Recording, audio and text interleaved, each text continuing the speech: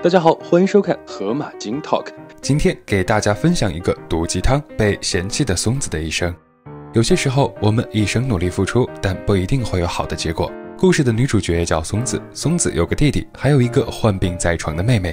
可能是因为妹妹更需要照顾，从小父亲对松子就非常冷淡。父亲会给妹妹买礼物，而松子却什么都没有。为了讨父亲开心，松子会扮鬼脸逗父亲笑。但是即便这样，在幼小的松子心里还是埋下了仇恨的种子。都说父母是孩子的第一任老师，童年悲惨的记忆使得松子特别需要爱，而这个行为也伴随了松子的一生。毕业后的松子在学校当了老师，有一次他的学生阿龙被发现偷了商店的钱，校长让松子去处理这件事。在询问遭到学生否认后，松子为了帮助学生，自己偷偷帮他还了钱，并且向商店老板认错，说钱是自己偷的，希望老板不要追究。事情传到了学校年级主任的耳中，年级主任拿这个事情做威胁，趁机占了松子的便宜。事情传到了校长的耳中，为了调查事情真相，松子说他是替学生顶罪的，并找到那个学生，但阿龙却说钱不是我偷的，松子老师叫我帮他顶罪。于是松子被学校开除了。之前松子和学校的男老师谈恋爱，并把恋爱的快乐分享给妹妹，但是父亲却对他发火了：“你不觉得妹妹很可怜吗？”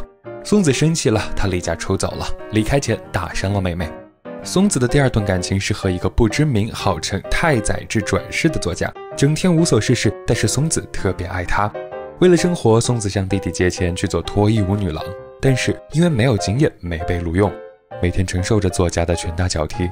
终于有一天，作家留下了一张纸条，然后卧轨自杀了。纸条上写着：“生而为人，对不起。”松子的第三段感情是和作家的朋友，他做了作家朋友的情妇，为了给自己争取幸福。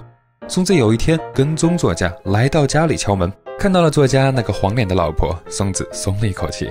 他觉得凭借着自己的美貌和无微不至的照顾，一定可以把作家抢到手。但是作家知道了这件事，向松子大发脾气。他说和松子在一起只是为了报复之前死去的作家，因为他太有才了，包括他的女人，我能占有，我会有一种征服感。说完，丢下一些钱和松子分手了。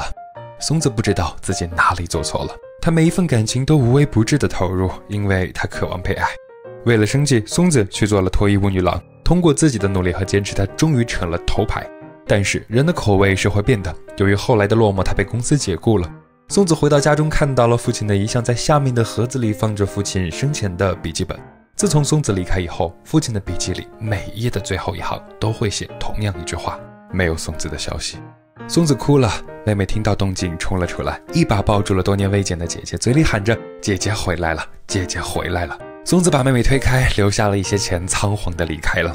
二十六岁那年，松子认识了一个男孩，和男孩在一起做了生意。但是男孩背着松子和年轻的女人偷情，被松子发现后不知悔改。松子一怒之下拿刀伤了他，怒气涌了上来，松子索性杀了他。杀人后的松子准备自杀，但是他想起了之前的那个作家，因为在松子心里，作家是真心爱他的，至少没有背叛他。他来到了太宰治自杀的那条河，准备跳河自尽，但是水已经干了。这时，旁边路过了一个理发师，松子和理发师去喝酒，知道松子没有去处，理发师收留了他。发生关系后，理发师向松子表白说：“不管你有怎样的过去，我无论如何都不会离开你。”松子仿佛看到了幸福。开心地唱起了歌，直到有一天，松子被警察带进了监狱。在监狱里，松子非常努力，并很快学会了理发。他幻想着出狱后能和理发师幸福的生活。八年后，松子出狱了。他来到理发店，发现理发师已经结婚生子。松子只好离开，找了一家理发店上班，依次给客人理发。发现客人竟是自己在监狱里的朋友小慧。之后的日子，他们经常一起喝酒，畅谈人生。小慧找了一个男朋友，并在男朋友的公司做起了 AV 女优。她立志一定要出人头地。不久，小慧火了，而松子还是一个人。一次偶然的机会，松子遇到了之前自己的学生阿龙。因为小时候阿龙特别喜欢松子老师，所以那次偷钱故意没有承认，犯下了错误。阿龙很后悔，并且说现在他依然爱着松子老师。然后松子开始了自己第六段感情。阿龙是黑社会的小弟，一次偷了大哥的钱，被人追杀，躲在一个小宾馆。松子来找他，和他一起同归于尽。但是最后阿龙把安眠药全部吐了出来，并打电话给警察救了自己一命。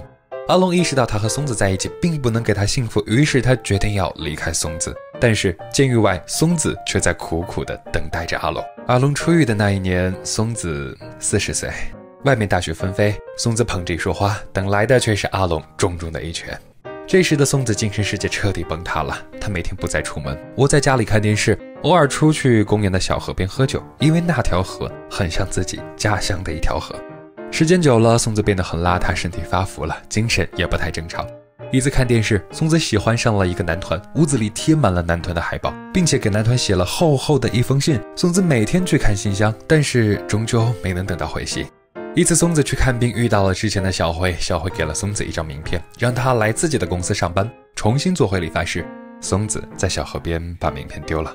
晚上躺在家里，他想起了妹妹和家人。他拿起剪刀，细心的给妹妹剪头发。他觉得自己现在并不是一无是处。于是他跑到小河边，找到了那张名片。此时的松子又回到了当年那个积极乐观的小松。他和公园的小孩说，让他们早点回家，别在外面玩太久。结果被小孩用棒球棒打晕了。最后倒在了草地上。那一年，松子五十三岁。对于这部电影，不同的人会有不同的观点。有人说松子的三观有问题，有人说世界对松子太不公平，松子运气太差，也有人说其实我们每个人都是松子，人生就是这样，快乐永远是短暂的，痛苦才是永恒的。你如果觉得生活容易，是因为有人为你承担了你的那份不易。我觉得松子是善良的，他一生渴望被爱，就像一个刚出生的宝宝。但是因为家庭的原因，并没有人去教他怎样去爱别人，导致几段感情，松子都是全身心的投入，但是却没有得到他想要的东西。在这里，河马叔叔并不想多加评论，最后用影片开头的一句话作为结尾吧：梦想是自由的，但是实现梦想、度过幸福的人少之又少，大部分人要么长吁短叹，要么借酒消愁，要么草草的了结了一生。最后，愿每个人都能学会爱自己。好了，今天的视频就到这里喽。喜欢的观众可以去看看原片了。最后，听说长得好看的人都给爸爸妈妈点赞了呢，你也记得订阅哦，爱你，么么哒。